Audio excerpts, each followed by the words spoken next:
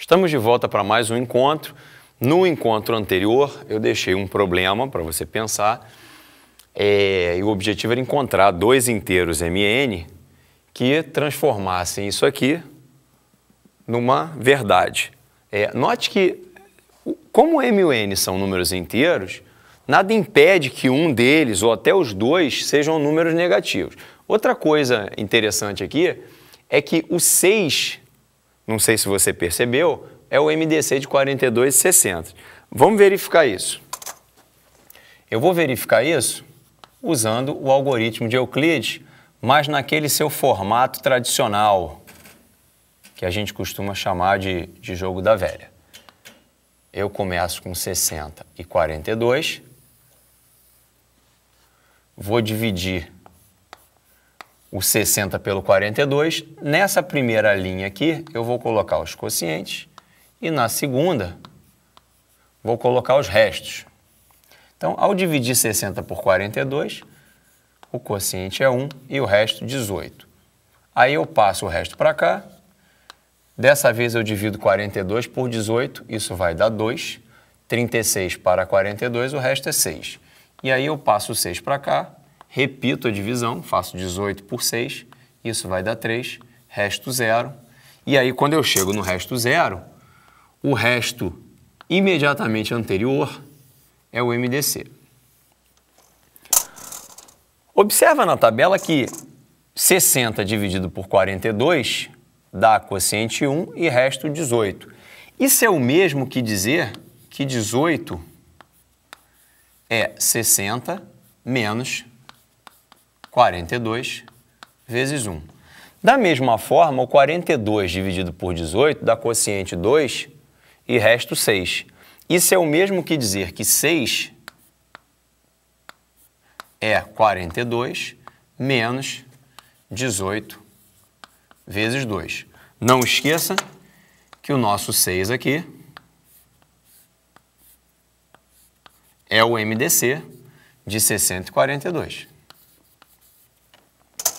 Aí vamos fazer uma coisa engenhosa aqui. Eu vou pegar e no lugar desse 18 aqui, eu vou substituir essa expressão. Dessa forma, a minha expressão de baixo ficará, vou fazer do lado de cá, ficará 6 igual a 42 menos. No lugar do 18, eu vou colocar agora aquela expressão, que é 60 menos 42 vezes 1. Isso tudo está entrando no lugar do 18, vezes 2. Bom, aí vou fazer a distributiva lá. Ficarei com 42 menos 60 vezes 2, menos com menos vai trocar o sinal, ficarei com 42 vezes 2. Mas dá para juntar esses dois pedaços aqui. Então, ainda consigo escrever o 60 dessa forma aqui, ó. 42 vezes 3 menos 60 vezes 2. Vou dar uma última arrumadinha aqui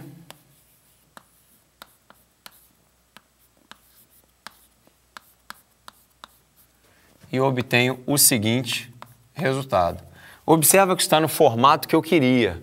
6 igual a 60 vezes um número inteiro, mais 42 vezes um número inteiro. Então, a gente acabou de descobrir que o m que eu procurava lá está aqui.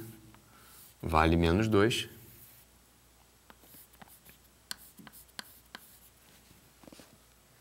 E o n está aqui vale 3. Como eu falei, um deles podia ser negativo. O que está por trás da nossa solução para aquele probleminha ali é a relação de Bizu, que diz o que está enunciado aí. Se você tem dois números inteiros A e B, tomando cuidado para que eles não sejam nulos, existem dois inteiros MN que fazem isso aqui ser verdadeiro. Nota que o enunciado da relação de Bezout diz que existem dois, mas não diz que existem dois únicos inteiros.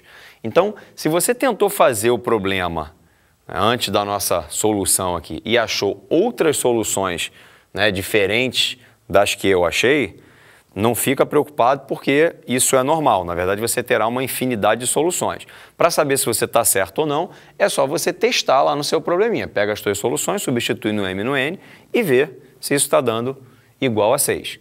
Certo? Mas tenha consciência de que você pode encontrar infinitas soluções aqui. Você não precisa encontrar exatamente as mesmas que eu encontrei.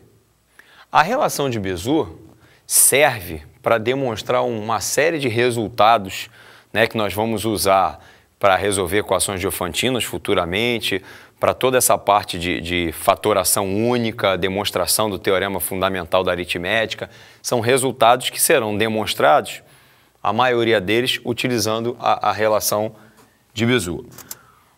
Um primeiro resultado, que está no livro, lá na página, no livro do professor Abramo, lá na página 70, é esse resultado que é até simples de demonstrar. Né? ele diz que se D é um divisor comum de AB, de A e B, então D divide o MDC. Observa que quando ele diz que o D é divisor comum de A e B, ele não está garantindo que esse seja o maior divisor. Portanto, eu não tenho certeza se esse D é o, o, MDC ou não. Pode ser, pode não ser. Basta que ele seja um divisor comum. Portanto, esse D pode até ser o 1, que é divisor comum do A e do B. Então, se o D é divisor comum de A e B, então o D divide o A e o D divide o B. É, nota que pela relação de Bezout,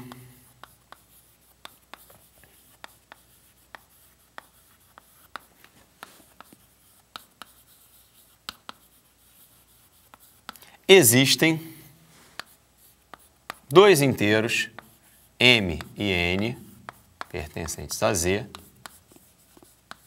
tal que A vezes M mais B vezes N é igual, agora sim, ao MDC de A e B.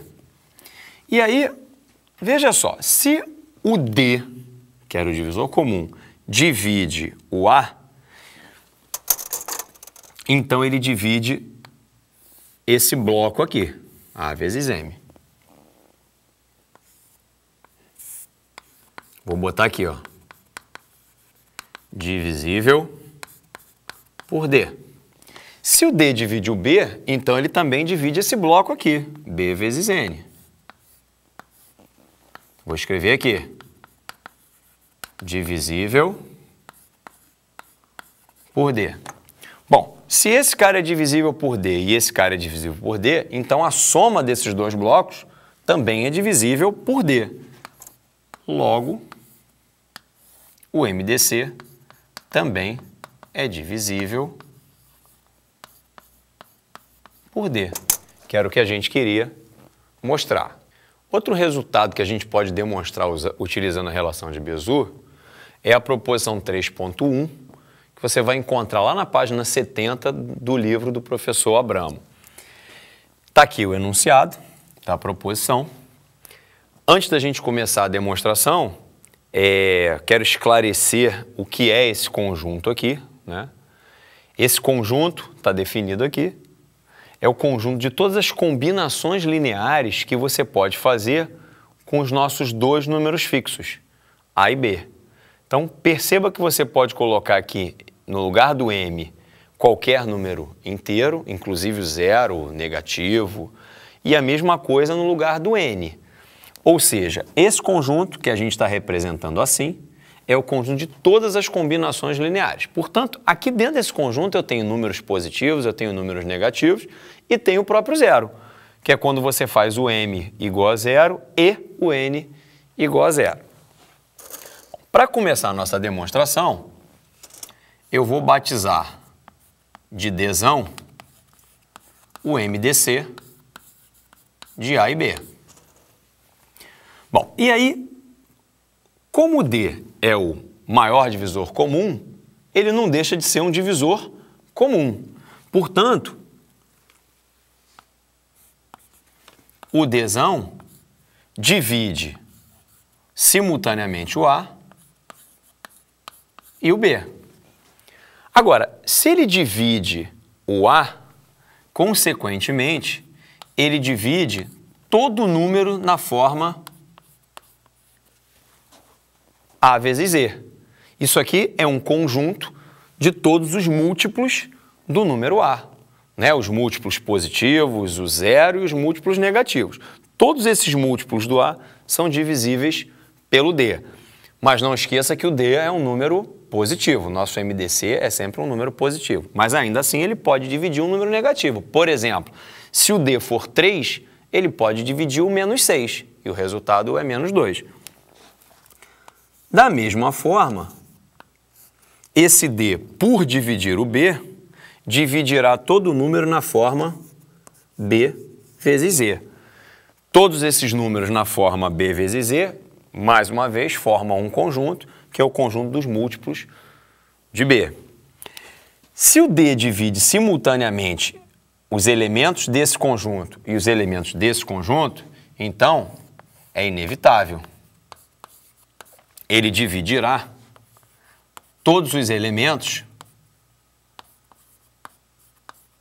desse conjunto aqui de cima.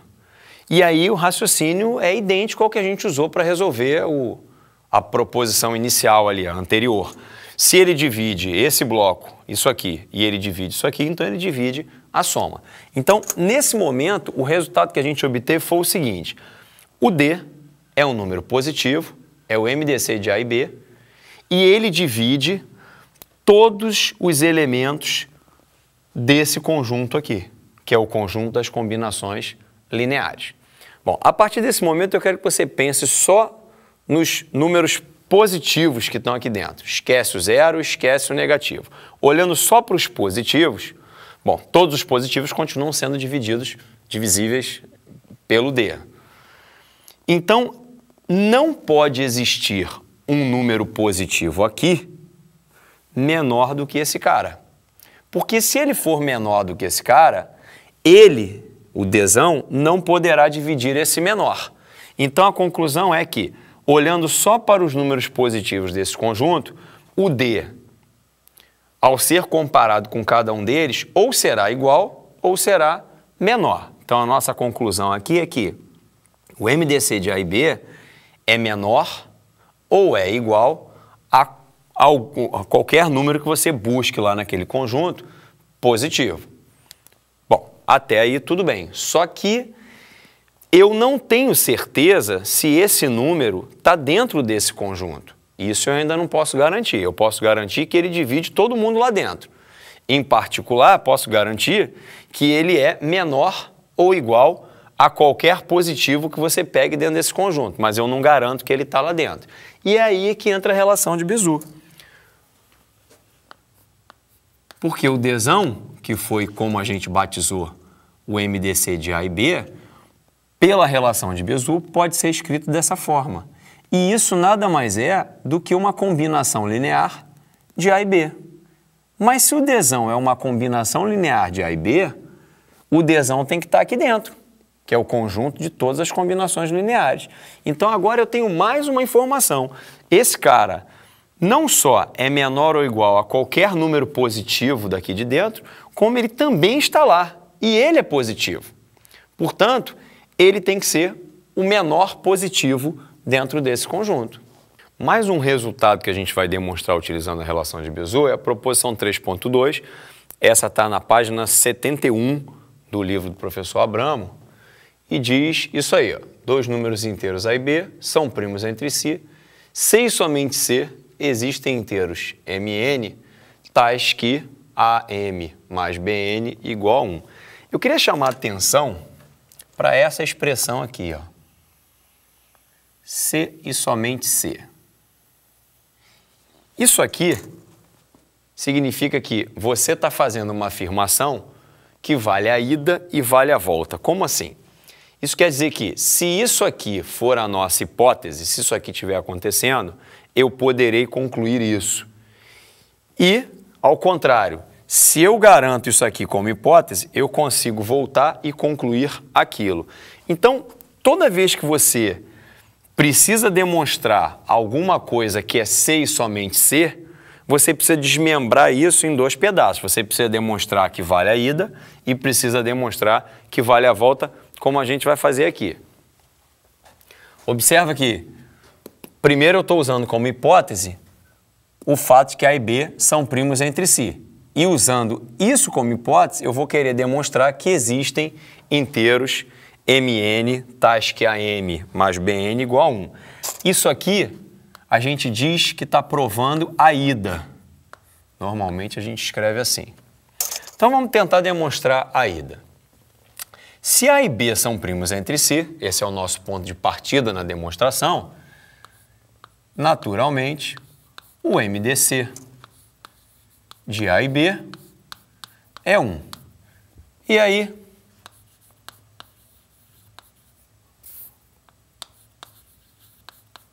a relação de Bizu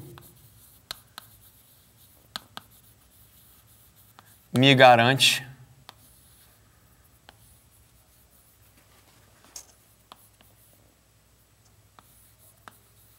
que existem inteiros m e n tais que a vezes m mais b vezes n igual a 1. Então, eu parti dessa hipótese, cheguei a essa conclusão. Está provada a ida. Acompanha aqui, ó. Essa foi a nossa hipótese, eu provei que existem os tais inteiros. A gente vai demonstrar agora a volta, que a gente simboliza dessa forma. Essa é a minha hipótese, é o meu ponto de partida, e com isso eu preciso mostrar que A e B são primos entre si. Bom, observa uma coisa. Do jeito que está escrito aqui, o 1 é uma combinação linear de A e B. Portanto, o 1 é elemento daquele conjunto que a gente definiu lá na proposição 3.1.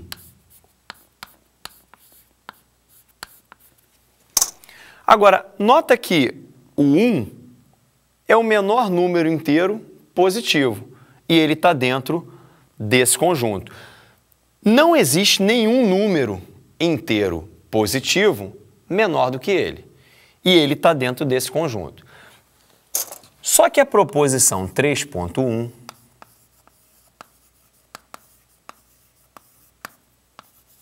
garantia para a gente o quê? Que o menor inteiro positivo desse conjunto, e que nesse caso certamente é o 1, que o menor inteiro positivo desse conjunto era o MDC de A e B. Portanto, a nossa conclusão é que o MDC de A e B é 1. E se o MDC de A e B é 1, é porque A e B são números primos entre si.